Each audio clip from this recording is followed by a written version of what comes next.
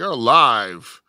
Good morning, basketball fans. It's Monday morning here in the Northeast. It's been raining pretty hard, but we're not as wet as Coach Boz was after that game on Saturday.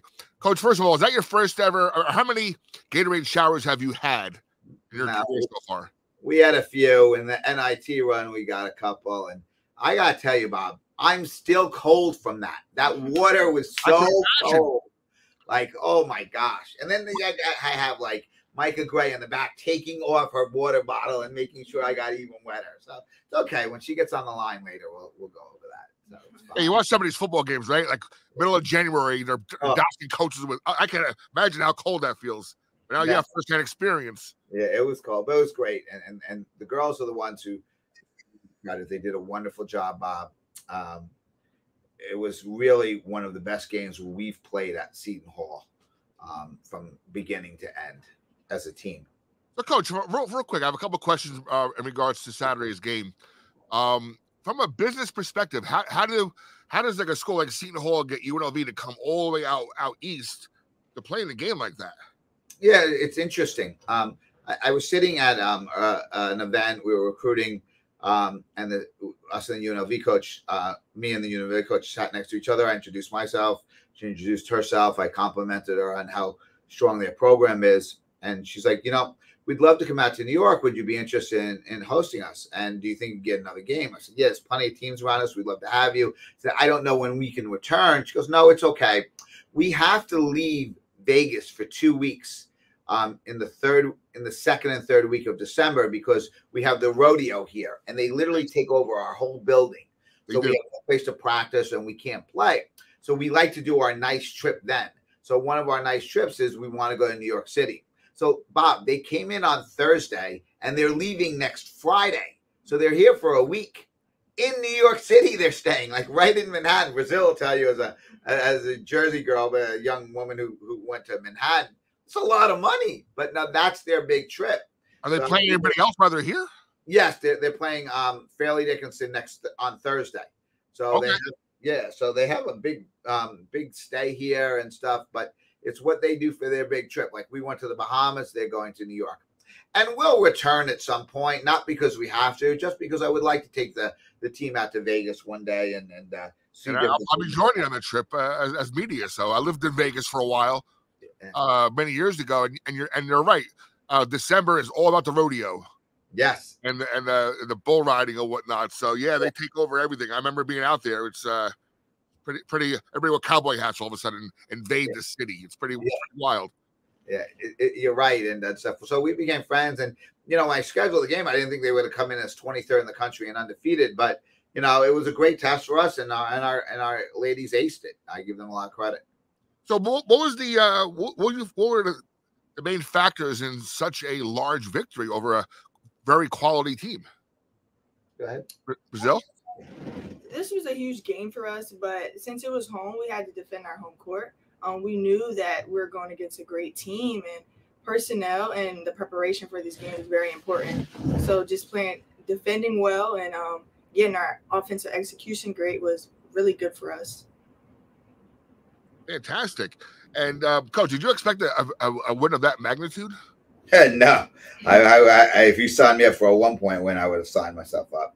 Just because I have so much respect for UNLV. I mean, uh, you know, their coach, their head coach, is an outstanding coach. Their staff does a great job, and they have really good players. I mean, they came in and they had just um, uh, handled Arizona by close to twenty, and Oklahoma on the road by like fifteen. So this was a team that had a real, you know, good strong resume. Their net was nine, their ranking was twenty three, and you know, we knew we needed to win this game to have give ourselves an opportunity, uh, you know, for postseason at the end of the year. And the girls came out focused and and they cared about winning. That's it. That's fantastic. Um, so, coach, a few questions. Another question I had on my mind over the weekend after after seeing your, your the big victory. Um, so, where if you're this you know UNLV team now you're about to enter Big East play, like where would they fit if they were playing in the Big East this year? Um, now, where do you think they would fit? I mean, are, are, will they will they challenge UConn, or they probably a, maybe a little step below? I think they certainly would be right there with Creighton and Marquette and us. There's no question. I mean, they manhandled Oklahoma, scoring almost 100 points on them. They they beat Arizona by 20 to 25 points. So they could play with anyone in the country. You know, UConn is still UConn, though. You know, while I think, you know, Creighton and Marquette right now are two and three in our league, you know, we're, we're right there as well. And, you know, they're, you know, St. John's had a great win over Villanova. You have to give them respect too. And the team we play Wednesday is, is really good. Uh, won seven in a row. Georgetown's nine and one. Um, Coach Haney has done a great job of building on Tasha, what she started. Um, his staff is really, you know, Coach Mazante and, and, and the rest of the assistants have done a great job uh, as well. Um, you know, the Big East is tough, Bob. You know, you cover it. You know, I, I think UNLV could finish anywhere from second to whatever, but, you know, it, it's physical every day. And I think the physicality is something that people don't realize until you play a Big East team. Now, uh, last question on UNLV. Um, is their style of play a little different than the Big East? Uh, is it more of an open, faster game? I know Big East is very physical. Yeah, no, they're they're very fast. I mean, they average over 80 points a game. Um, they have all three guards can shoot the three at a high rate. Um, they're two post players. One's on the WNBA draft board. Um, you know, they're, they're not as physical as the Big East, but they're very skilled, like the Big East. All right. So our special guest today, uh, forward graduate Brazil Harvey Carr. Brazil, how are you today? I'm good. How are you? Not too bad. Not too bad. Um, so I noticed the past couple games you came in a little bit a few weeks ago, and then next game after that you had a pretty substantial role in the in the game itself. Uh, I heard you you had you had an injury, correct? Correct. Um, what was that? What was the injury itself? Um, like about a year ago, I, I tore my meniscus, so I was battling injuries coming back. All right you know, Bob, it was just just you know the amount of time and effort that Brazil has put into um, rehabbing this knee. Um, one, I give her so much credit because she could have taken the easy route and said, "Listen, it, it, you know, the amount of hours I have to put in with no guarantee that I'm going to get better and no guarantee of you know a role." A lot of kids wouldn't have done it, but that's how she's been raised. She's been raised to fight and to work hard live up to her bargain. She came here to play and, and, and for us to win. You know, Brazil could have gone to many different schools, including a bunch in the Big East, but chose us. And, and, and we forged a relationship which was very strong, which has been up and down, to be honest, because of, you know, just, you know, her battles and expectations and everything. But the one thing I'll always remember about her and why I'm so proud is that she's been raised the right way and to work hard and to never give up and be a woman of her word and she's very modest in what she says about her injury, Bob. Like, oh, it's a meniscus. Meniscus is a four to six weeks. Hers was a year because of the amount of damage that was in that knee. And um, I give Harp all the credit. And obviously, Deja, our trainer, done a wonderful job as well, our doctors. But, you know, Brazil deserves a lot of credit for this. And to have her here, I didn't know if that would happen even a month ago. And, and not only, Bob, as she played, she played well and now she's got herself in the rotation, and mm-hmm. she's going to be a huge weapon for us for the next 18 Big East games and many postseason games, hopefully. So, yeah. describe your your your game. Um, are you more of a shooter? Are you more of a slasher? Um, what's um, your game? I'm, I'm more of a shooter. Um, I like to shoot it behind the arc, but if I have to get inside, I will. Um, but yeah, very confident shooter if I'm left open. So, what what school did you come from uh, before this? I came from Manhattan College, went there for two years. And two years prior, I went to the University of Rhode Island. Okay, so you're basically in the Northeast. Correct. And you're from Camden, huh? Yeah, I'm from Camden, why, New Jersey. Why don't you talk about your high school career? I mean, Brazil's very modest. She's one of the top, I think, 10 or 15 all time leading scorers in the state of New Jersey in high school. um, she obviously knows Azana very well. That's a story she can touch on as well. Go ahead. Yep. Yeah, back in high school, um, I was a great scorer then. Um, I also, me and Azana Baines have the same trainer in high school. So right after um, school, he would pick me up and then pick her up, and we'd be right in the gym. Um, both lefties, um, so I'm very familiar with her game. We grew up playing basketball, a, a tons, a lot of basketball, a lot. Yeah, Blackwood, Blackwood's pretty close to uh, Camden, right? Yeah, it's literally only like 15 minutes away. Okay. She's not giving you the whole story. Give her the whole story. Tell us. So me and Azana Baines are both left-handed. Um, we both were also born in the same hospital, which is kind of like silly. Um, but yeah, so we twins. played. Yeah, twins, which could be calls us. Yeah. But yeah, very um similar when it comes to that. It's crazy, and born on the same day. And born on the same Bob, day. Born on the same wow. day, both left-handed, both great basketball players in South Jersey, both born in the same hospital. I mean, like, I mean, Fox wants to do a whole a whole thing on that too, which will be great. But like, it's an amazing story. Like, I just couldn't believe it. Like, crazy. yeah, that's a little crazy. And hopefully, both of you bring the team to the what to the big dance this year, right? Of course, that's the ultimate goal. So uh, I'm sure what you're how many how many points did you score in high school? You know offhand? Um, it was two thousand three hundred ninety three. Was that more than the Wagner uh, no, he he has more up on me, but oh, that's that's pretty substantial though. Yeah. That's a pretty. I mean, I I, co- I cover high school basketball. That's a pretty substantial uh, number right there. I think it's top ten or fifteen in, in New Jersey state history. I gotta tell you something about Brazil that I did not know. She can really, really rebound the ball. She's an extremely intelligent defender. So she she's she's really made up for you know the injuries that she has to battle through. And let me tell you something else about Brazil. You know, she she she played in two MAAC championship games as one of the best players on her team. So, you know, she's used to winning, Bob. And that really attracted me about her too. Because, like I said, she could have gone to other Big E schools and other schools that maybe didn't have quite the um, opportunity to play in the postseason as hopefully we will. She chose to come here and to win. And that's the type of person she is. So, what was your decision on coming here, Brazil? What was your main um, components? So, just the um, relationship I built with Coach B and the like the willingness culture they have in this program, and just trying to expand my game in the in the resume of um, the resume of games they always portrayed and the culture they had really intrigued me, and I was really excited once I got a call from Coach B back in last spring, and I knew that I wanted to come home has your family come watch you play yet? Of course, they're always at every home game. That's fantastic. Yeah. Hey, coach, real quick, um, Saturday's game. How was Walsh Gym? Was it uh, did you have a good crowd on Saturday? Yeah, it was an amazing crowd. I felt like we felt um off their energy, and just from start, I, I just want to recognize our our starting five. They started the game strong, and our reserve players got in the game, feeding off that energy as well. And then we just had a great turnout.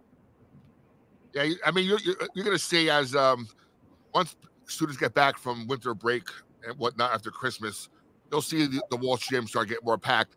And hey, I try my hardest. I know the Seton Hall basketball group on Facebook. We try our hardest to promote, you know, the, team as well.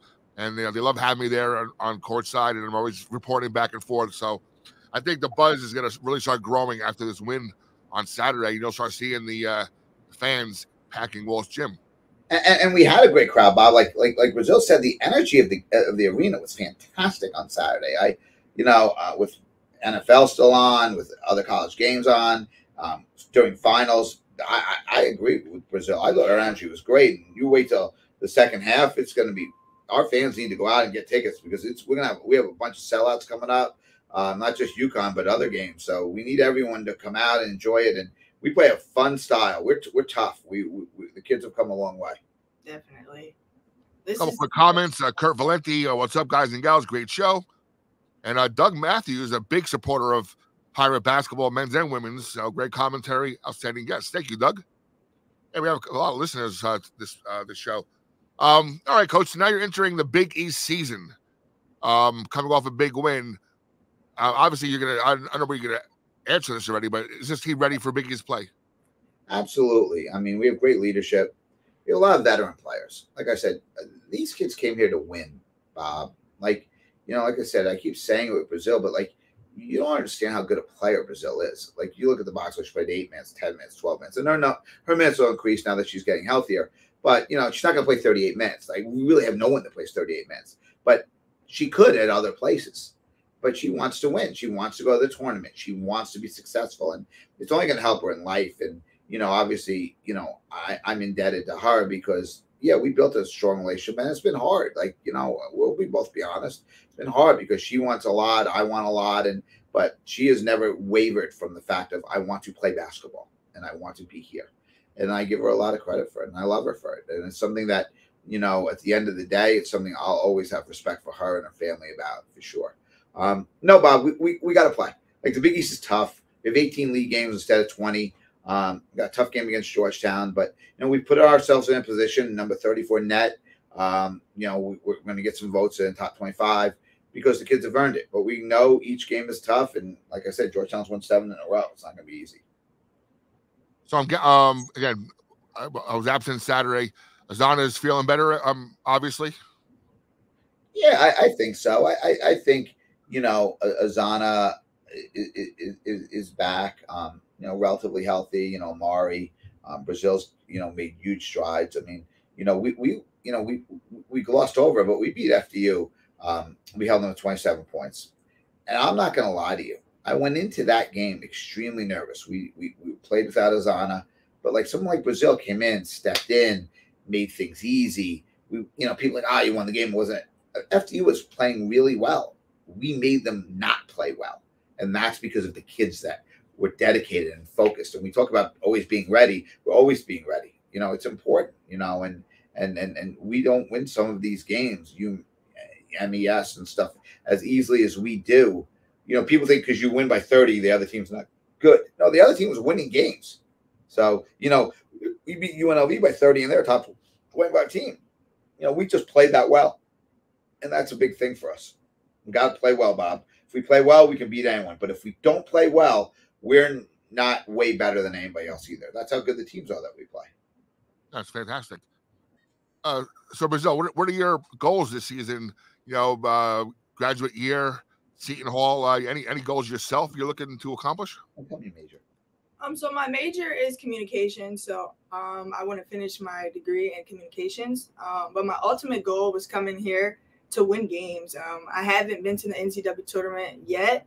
Um, I've been to my conference championship twice, but I think we're going to make leaps and strides and be able to get there with the competitive team we have this year. So what are your what are your, what are your goals for your career in communications? What do you um, see yourself so doing? after basketball, um, I want to go into coaching. So I take a lot of classes like that that pertain to um, coaching, and my communication background would would help me. Fantastic, fantastic. And she'll be a great coach, Bob. Like I, I, am not saying it because she wasn't sitting here. I would tell you the truth because you know me. I tell you, she's one of the more intelligent players I've coached in a long time. She's a. We asked her to play multiple positions. She missed a lot of practice time. She still knows all the plays. She comes in, does what she's supposed to do. She knows how to play defense because of her brain. Mm-hmm. Like she's going to be a really good coach. She's not just a great player because she's just so athletically gifted and stuff. She's an extremely intelligent player, and like those things mean a lot. Like you know, I, I I, think as someone that you know will be an outstanding coach one day, I think she's going to bring those traits as well. Coach, with the uh, high school basketball season starting this past week, um, has your your early success is leading to any um inquiries from any players in the area? Yeah, we're recruiting a lot of the players in, in our area. You know, it's hard, Bob. Like, you know, you don't even know who you're going to need from year to year anymore with all the transfers and all the rules and, and everything. You know, we, we have obviously three, two great high school players coming in next year, but we lose a lot of talent. It's going to be hard. Like, um, you know, it's helped. You know, winning always gets you more notoriety. You know, I, um, I was on a podcast this morning. I'm, I'm Azana will be on one tonight. Um, Brazil's obviously on one now. I, I, know you. I thank you for inquiring about her. But like you know, it, it, it's it's you know, we're trying to stay in the moment, trying to enjoy this year too. Like I want them to have fun. Like we're gonna go to a Knick game in a couple weeks. It's gonna be amazing. We're gonna go on the court. We're gonna meet the players. You know, or, you know, it's awesome. just stuff like that. I want us to enjoy ourselves. You, know, we went to the Bahamas. I think we had a good time there. You know, and, and stuff. So little things like that are important. So, um, not knowing off the top of my head, is this Georgetown's first Big East game as well on Wednesday? Yes, yes, yes. They're both a very emotional game for everybody involved.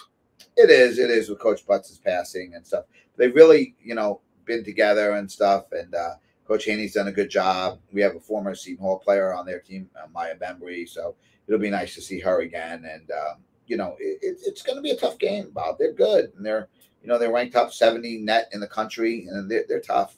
They're the I think one of the top five defensive teams in the country too. So we have our work cut out for us. Speaking of net, where, where's uh where's your team located?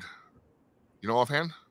In in terms of um, uh, yeah, we're, in net we're number thirty four in the country. Okay.